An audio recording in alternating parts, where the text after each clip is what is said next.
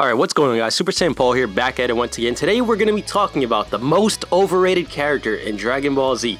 Now I've seen a couple videos on this, and responding to what Alex put out there. Alright, so, you guys are asking me to put up my opinion on this, and mine would be, it's not Trunks. Definitely not Trunks. Trunks is probably the most underrated character in Dragon Ball Z, and it's not Broly for me either. The reason being is because for Broly, alright, so he may have been a retarded Saiyan in some cases, alright? But the fact that everyone witnessed his power and could respect that, because out of fear, he lived up to everything a Saiyan should have should have been. For Trunks, however, Trunks has had probably the most backstory that any character has ever had in Dragon Ball Z. The most fully fleshed out character, and the fact that he came from a place with no hope and he's half Saiyan and everything kind of gave him a relatability factor to us as the fans because we're human and we have our times in lives where it's like there's no hope and he kind of taught you the lesson that you need to push forward and push on, keep going on, don't give up. And the fact of the matter is, even Goku gave up in that saga at one point. He even told Cell straight up, hey, Cell, I give up. So to hold that against him, I, I don't really see how that's fair. I mean, even future Gohan said it in their timeline as well. Hey man, I used to be a whiny kid just like you, but you gotta grow out of it.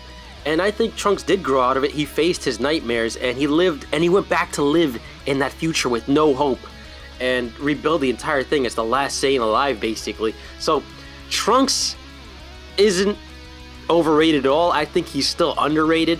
That's just my opinion. Broly I honestly don't think he is a bit overrated, but I don't think he's the most overrated. If they crowned him as the god of destruction, that would change up everything because he's just raw destruction and that would live up to his character, but that's a different story. For me, the most overrated character, it has to be said because some people do agree with me on this, I would say it's Bardock. And you know why I would say it's Bardock? Because Bardock is the one that didn't do shit for the series. He actually, he was literally a stupid asshole because he looks at his son and says average power level and runs away. Uh, only an average power level. I thought you were special. And it's because of him that Frieza premeditated blowing up the entire planet. He rushed up there and then he got the entire planet blown up. He was an evil person to everyone around him. It wasn't until he got the visions that he started to realize, hey man, uh, maybe I should change it the way what we're doing here. And he witnessed his own demise. So he basically got karma coming right back at him. He was not a good guy, unless you count the movie where he went Super Saiyan. But at the same time, if you're counting back the original, he was an asshole. He didn't want to spend time with one of the strongest Saiyans alive, so he abandoned his child. Nobody even respected the guy because they're like, ah, oh, Bardock, you're just an idiot. And then he runs up there and gets blown up to bits by Frieza because he thought he, he was overconfident, cocky, and stupid, and he caused Frieza to blow up the entire planet along with him and all of their hopes for a, a, a race. Even though Frieza said he was going to blow up the planet eventually because they were getting so strong, it was because of him as well. And there really wasn't much to respect about him because he did nothing but kill everyone and that he was the father of Goku. Now, if that's the only thing you have to your name, that you're the father of Goku, and you abandoned that child and just left him there, then in my book, you're a piece of shit and you're overrated as fuck. I don't understand why people like him.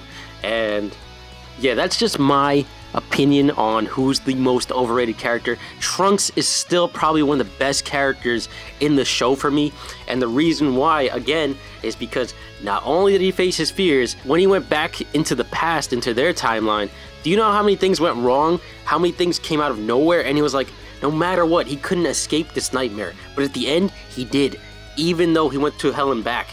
So he never took the easy way out. He could have opted out any time, but he kept training and training. And trying to find a better future. Broly, if they changed some of the things, if they actually tried, if they crowned him God of Destruction at any point, that's it. I, I think he'd become perfectly leveled. But um, the fact that he had that raw power that you could respect, and this is what Vegeta, everything Vegeta hyped up about a Saiyan, I think he honestly lived up to. Just because he was obsessed with Kakarot, that kind of made people go the, in the other direction from him. But even Vegeta was like, this is the legendary Super Saiyan. This is what killing machines are. This is he. I think he lived up to all of that, all those things. If you compared King Vegeta and his relationship with Vegeta to Bardock and Goku, King Vegeta respected his son so much. He was basically hyping up Vegeta to say, "Hey, if you bleed, you're gonna bleed diamonds and gold because that's how much, how that's how valuable your Saiyan blood is." Bardock, however, Nah, he was just some raggedy Saiyan with like nothing really to nothing real to his name besides the technique that lets him change into great apes, but that's it. Big whoop. Another thing I would bring up is the fact that okay, Trunks one of the most fully fleshed out characters in terms of backstory. I you I've already given you guys many reasons of why I don't think he's overrated and the fact that he can be related to us. So for that that's how he passes. Broly, he lives up to the destruction part and all the Saiyan mythology that Vegeta brings up. Bardock, what does Bardock bring to the table other than being Goku's father? And the fact that, okay, he died in a pretty cool way, but shouldn't the credit be given to Frieza because there was the, uh, like a, how many Saiyans behind him that died in the exact same fashion?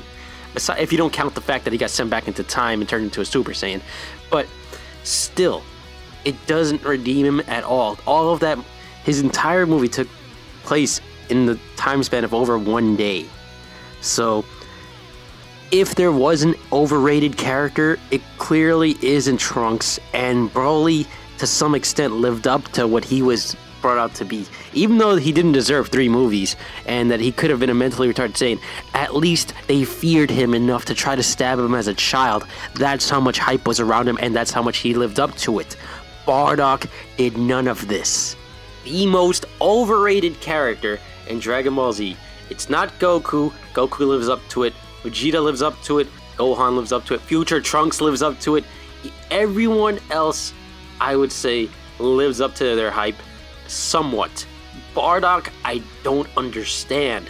Why do people love him? Maybe when I was a kid I liked him, but now, if you really think about it, if you really think about it, he was an ass. Anyway, I'll be seeing you guys next time. Take care.